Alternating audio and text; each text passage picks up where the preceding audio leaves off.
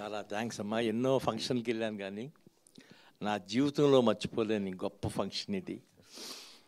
నలభై తొమ్మిది సంవత్సరాల క్రితం సినిమా తీద్దామని విజయవాడ నుంచి బయలుదేరితే మా డిస్ట్రిబ్యూటర్ నవైగా ఫిలిమ్స్ వాళ్ళు పిలిచి నాకు ఒక మాట చెప్పారు. మద్రాసు వెళ్తే నీకు ఒక మంచి మిత్రుడు పరిచయం అవుతాడు. రామలింగయ్య గారు అబ్బాయి అల్లు అరవింద్.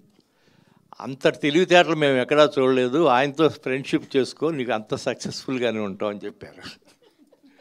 సరే వచ్చాను. ఆ తర్వాత రాఘవేంద్రరావు గారు బంధుత్వం వల్ల ఆయన అరవింద్ గారు ఇలా కలిసాం చాలా సంవత్సరాల ఫ్రెండ్షిప్ తర్వాత పెళ్ళి సందడి తీసాం కోటి ఇరవై లక్షలు కాస్ట్రా ప్రొడక్షన్స్తో రిలీజ్ చేస్తే ఆ సినిమా పద్నాలుగు కోట్లు పే చేసింది. అందరూ మేమే డిస్ట్రిబ్యూటర్లో మేమే పంచుకున్నాం. అంత పంచుకున్న రోజున మేము ఎగరలేదు.